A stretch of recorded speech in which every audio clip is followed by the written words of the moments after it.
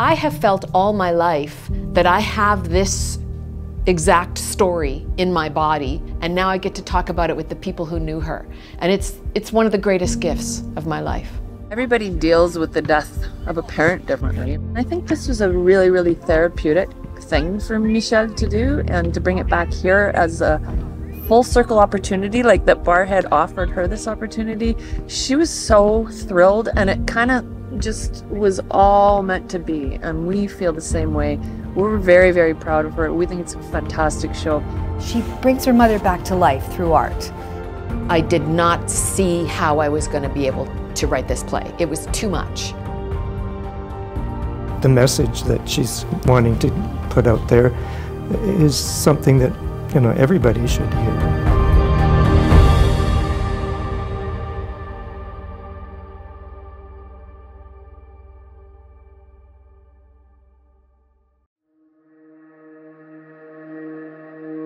Well, I was um, inspired originally to work with Michelle just because of Michelle.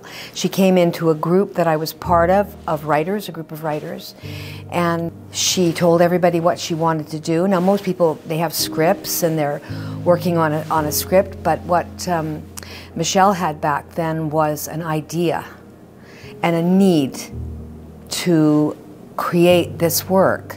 She finally decided that it, was, it needed to be a solo show. So she came to a group that I was running called Solo Lab. And uh, that was the origins of, uh, for me, with the play. And from the beginning, I was in. I was in because uh, she's such a compelling artist and she has so much drive and determination and the story was irresistible. She brought a lot of passion to it. Um, I think there were times where she felt that, you know, is this ever going to quite come to fruition, right? Until it, till you actually, you know, get to the finish line, it, it's a bit of a daunting task. I hired a life coach, David Frank Gomes, because I did not see how I was going to be able to write this play. It was too much. Five years of, of trial and error. Like I, I'd start to write it, I'd put it away. I'd start to write it, I'd put it away. So I, I hired him and we worked together. He used to be a filmmaker and we worked together on the creative process. He, he would just talk to me about, well, what are the small, tiny steps you could take today? What's something you could do today? And he was so encouraging. And he would, he would make me understand one of the ways that I could get out of my own way, which was to understand that it's not really about me. It's, it's an, what this play is an offering. It's an offering to the divine.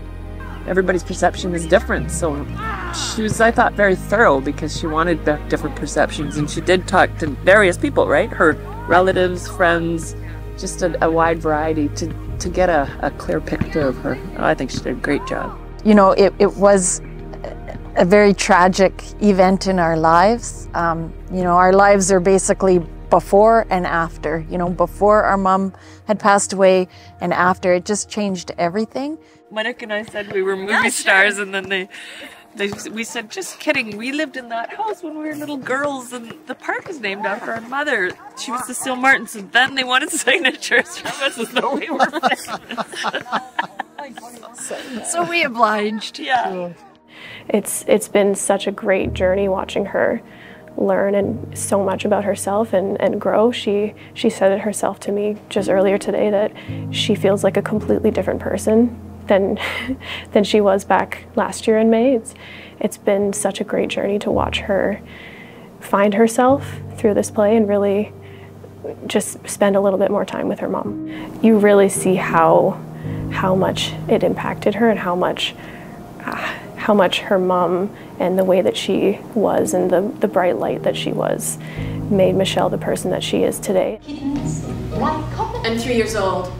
She's lovely and perfect, and all I can see is her. I watch her do her makeup, her nails, get dressed to go out, bake cookies, laugh with my dad.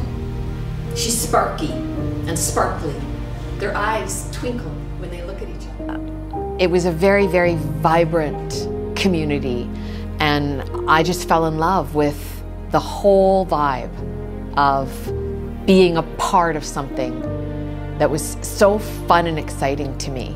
And I, and I fell in love with the theater and wanted to be an actor just like my mom because she was actually, I mean, I'm biased, but she was the, like a star. She was the star of the Barrhead Community Theater.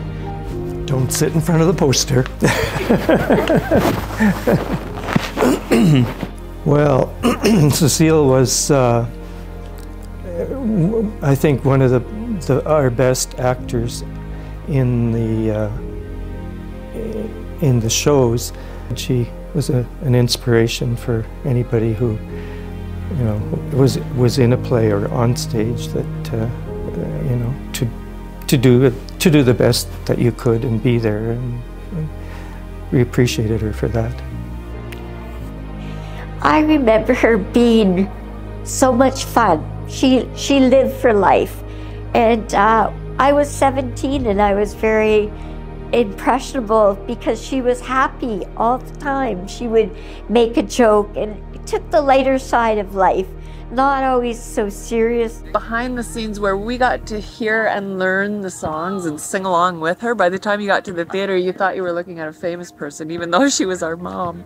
I do remember seeing a real chemistry between them and um, a real mutual understanding and, and joy of sharing this passion that they had together. yes, you could see Cecile in her, and uh, especially when she uh, got talking about intimate moments, you know, of her working or being being the daughter of, of, of, of uh, such a wonderful person.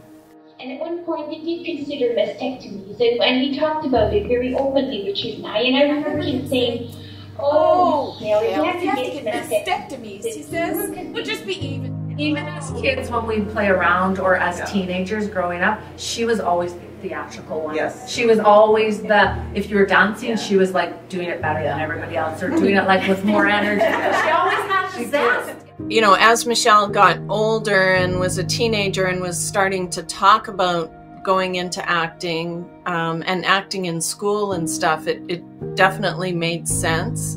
Um, it seemed it seemed like a perfect fit for her, um, and yeah, you just you weren't surprised that that was the career path for her because it you know she's a natural. There's no doubt. My mom had a had a great voice, and I think Michelle has a great voice. You can you know you can there's that similarity um, just, yeah, just how um, passionate she is about her work. I wear my Lord Jenkins High School jacket to show these losers where I'm from! you know, growing up with the family, living in Barrhead here for so many years, knowing everybody, it was good relationship, especially with the Martins. The family you wanted to be a part of, which I was. I, I slept there, I ate there, like, wasn't like, oh, another mouth to feed. No, never.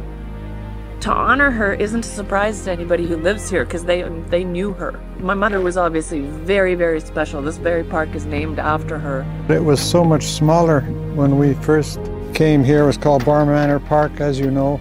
And then it, it expanded to about 10 times its size. Like now when I come back and look at that hill, it's not so big anymore, but at the time we used to toboggan down it and it was huge. When I drove by it today, when we drove by it, I said to Dad, that hill's so small. It used to be huge.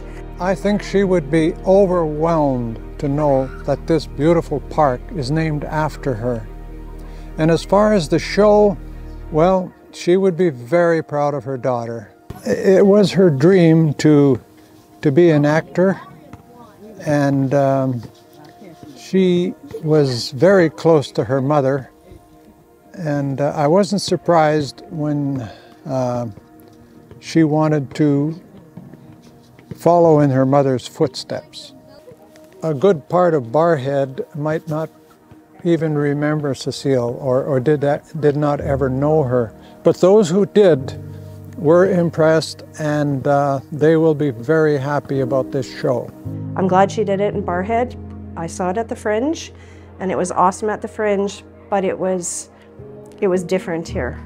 And when I talked to Michelle, she said she was, she was nervous to do it in her home, old hometown, and I think she pulled it off. It was very good.